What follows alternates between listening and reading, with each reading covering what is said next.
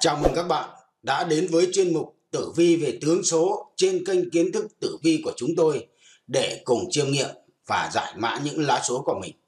Và các bạn thân mến, trong nội dung bài viết trong ngày hôm nay thì kiến thức tử vi chúng tôi xin chia sẻ đến các quý anh chị và các bạn một video mới nhất có nội dung như sau. Tử vi về nhân tướng học, về xem hạn tam tai trong năm 2022 và trong năm 2022 này có 3 tuổi đang tiến vào đầu năm vận hạn và những tuổi này cần phải kiêng kỵ những điều gì. Và dưới đây là những cách hóa giải và những cách nào hóa giải hiệu quả nhất. Với những tuổi nào phạm tam tai của năm 2022 rất dễ gặp hạn gì và cần kiêng những điều gì. Và các bạn thân mến, về thứ nhất là về cách tính hạn tam tai như sau. Về theo cách tính của người xưa thì hạn tam tai thường được tính theo tam hợp, tức là ba con giáp hợp tuổi nhau sẽ có chung một hạn tam tai. Mỗi một hạn sẽ kéo dài đến 3 năm liên tiếp và sẽ phân chia thành đầu năm, giữa năm và năm cuối của năm tam tai cụ thể như sau. Thứ nhất là về nhóm tam hợp. Nhóm thứ nhất là thân tý thìn với những năm hạn, năm đầu là vào năm dần, với năm giữa là vào năm mão, và năm cuối là vào năm thìn. Nhóm thứ hai là nhóm tỵ dậu sửu năm hạn thứ nhất vào năm đầu là năm hợi, năm hạn giữa là năm tý, và năm hạn cuối là năm sửu với nhóm thứ ba là nhóm dần ngọ tuất. Năm hạn năm đầu là năm thân, hạn năm giữa là năm dậu, hạn năm cuối là năm tuất. Nhóm thứ tư là nhóm hợi mão mùi. Năm hạn đầu là năm tỵ, năm hạn giữa là năm ngọ, năm hạn cuối là năm mùi. Thứ hai là với những tuổi nào thì gặp hạn tam tai trong năm 2022.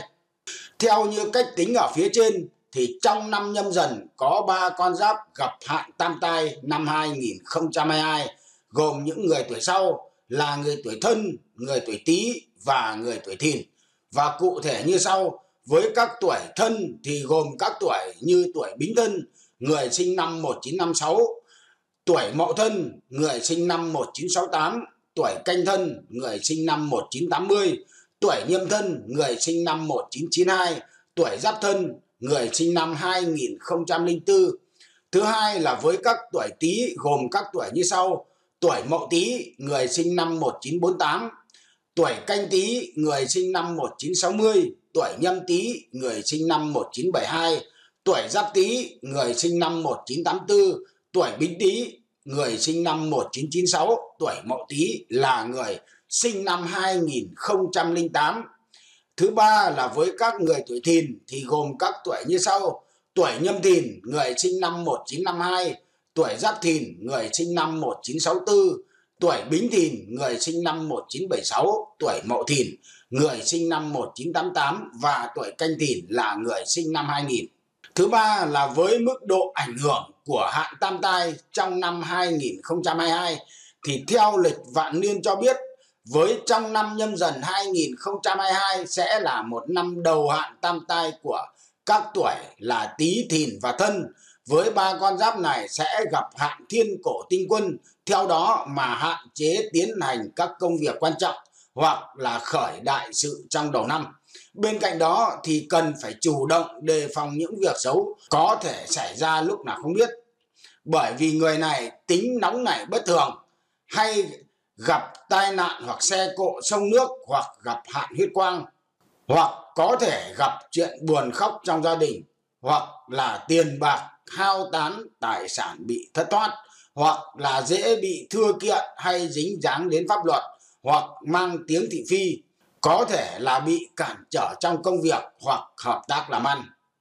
Thứ tư là những điều kiêng kỵ trong năm hạn tam tai của năm 2022 thứ nhất là điều kiêng kỵ nói chung về trong quan niệm dân gian thì trong năm đầu tiên gặp hạn tam tai thì tốt nhất là nên kiêng hoặc hạn chế tiến hành những việc như sau. Việc thứ nhất là khởi đại sự, việc thứ hai là cưới hỏi, việc thứ ba là đi sông nước, việc thứ tư là có thể hùn vốn lớn để làm ăn hoặc đầu tư mạo hiểm là không nên. Việc thứ năm là mua nhà xây dựng nhà cửa. Thứ ba là về những hạn tam tai trong năm 2022 thì cần kiêng kỵ những điều gì? Thứ nhất là đối với người tuổi Tý thì làm việc hay kết hợp nghỉ ngơi phải điều độ, tránh lao lực hoặc kẻo kiệt sức rồi đổ bệnh, có thể là tốn kém đến tiền thuốc thang chữa trị. Thứ hai là hạn chế xuất hành đi xa, rất dễ gặp bất lợi về xe cộ, đường xá. Thứ ba là tránh xa khu vực sông nước, nếu không rất dễ gặp hạn đuối nước hoặc tai ương có thể bất ngờ xảy ra. Về tuổi thứ hai là người tuổi thìn. Người đối với người tuổi thìn thì thứ nhất là kỵ ăn nói hàm hồ kiểu vướng họa thị phi hoặc dính họa kiện cáo với pháp luật. Thứ hai là đi lại cẩn thận đề phòng tai nạn bất ngờ.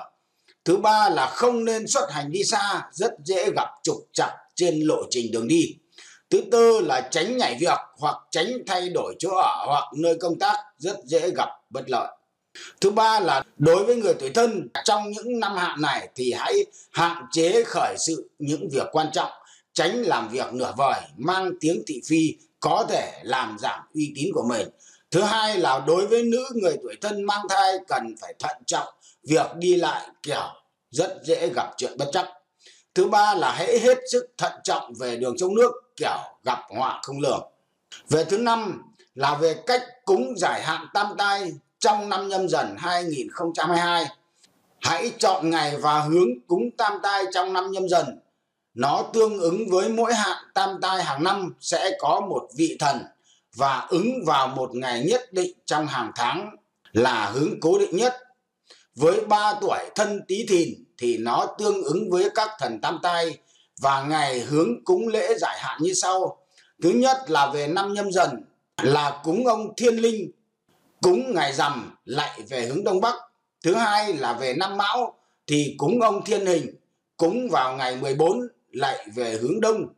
Thứ ba là về năm thìn thì cúng ông thiên kiếp, cúng ngày 13 lại về hướng đông. Theo đó, với những ngày cúng trong năm nhâm dần với các tuổi tý, thìn, thân hãy tiến hành cúng vào ngày 15 âm lịch hàng tháng vào ngày chính rằm. Còn về hướng cúng thì khi cúng vái lại về hướng đông bắc.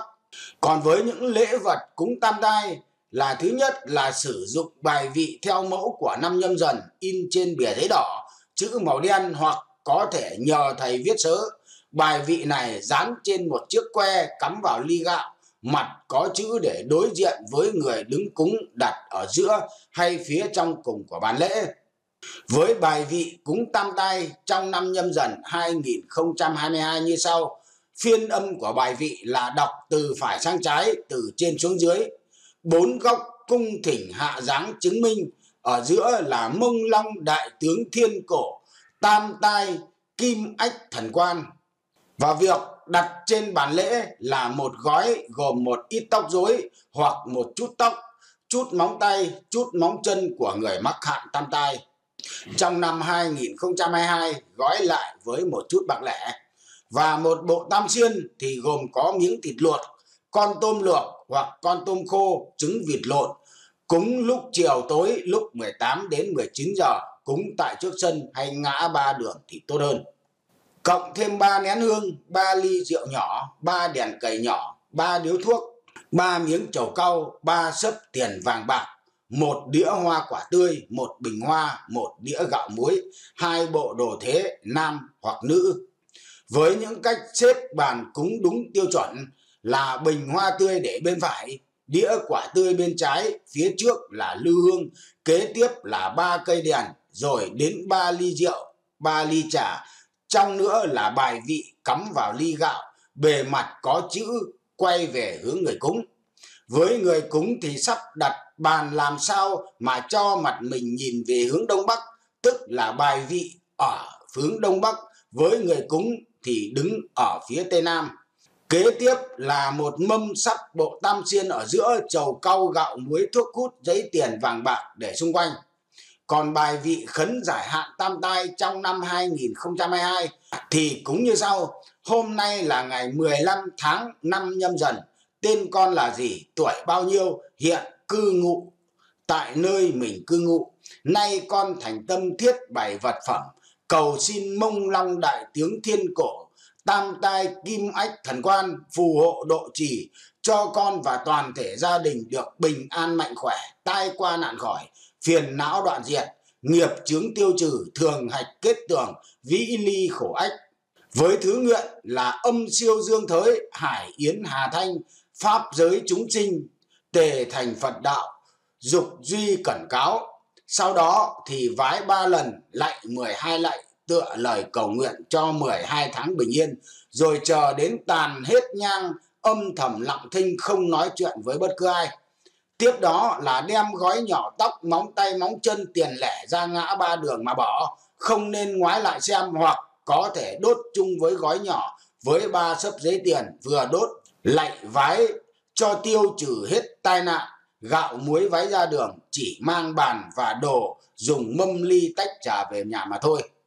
Thứ sáu là với cách hóa giải hạn tam tai trong năm 2022 theo phong thủy, thì theo lịch vạn niên cho biết ngoài những việc cúng giải hạn tam tai thì các tuổi phạm tuổi này có thể hóa giải tam tai bằng phương pháp phong thủy cụ thể như sau. Là có thể đeo vật phẩm phong thủy hộ mệnh. Đối với người tuổi tý, thìn, thân nên đeo vật phẩm phong thủy hộ mệnh. Có các vị phật hộ cho mình cụ thể như sau. Người tuổi tý là đeo phật độ mệnh tuổi tý là quan âm nghìn mắt nghìn tay, ngài sẽ giúp bạn vượt qua được mọi khó khăn trong cuộc sống và có đủ ý chí, niềm tin để chiến thắng mọi bệnh tật trong tai ương. Khi vận may của bạn tìm đến, ngài sẽ góp sức để vận thế của bạn thêm huy hoàng và sáng lạng. Ngược lại, nếu bạn đang gặp xui, ngài sẽ giúp bạn hóa giải khó khăn, vượt qua hoạn nạn một cách để cuộc sống bình an, hạnh phúc và may mắn còn đối với người tuổi thân thì hãy đeo Phật độ mệnh tuổi thân, đó là đại Nhật Như Lai. Vì thế với đương số mang vật phẩm phong thủy có hình ngài bên mình thì ngài sẽ là biểu tượng của ánh sáng trí tuệ giúp cho bạn luôn giữ được tinh thần minh mẫn, trừ yêu tránh tà, cảm nhận được tinh hoa vạn vật, hấp thu linh khí trời đất, vững vàng tiến lên phía trước. Và từ đó thì cuộc đời sáng lạng và hạnh phúc hơn.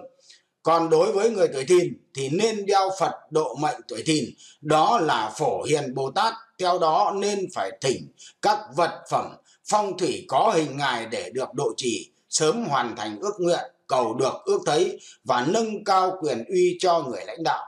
Và phải thường xuyên làm nhiều việc thiện giúp cho những người xung quanh cũng chính là cải mệnh cho mình rất tốt theo đó với các tuổi thân tí thìn nên thường xuyên phóng sinh, hiếu thảo hơn với cha mẹ, giúp đỡ mọi người xung quanh. Có thể là quyên góp tiền bạc, làm công quả nhà chùa như vậy sẽ được hưởng âm phước vô lượng, có thể giúp hóa hung thành cát, mang đến nhiều may mắn trong cuộc sống hơn. Qua những nội dung trên, nếu các bạn thấy hay, hãy like hoặc chia sẻ cùng bạn bè hoặc đăng ký kênh để có thể nhận được những video mới nhất và nóng nhất của kênh chúng tôi. Chúc các bạn có một ngày vui vẻ, bình an và hạnh phúc nhất.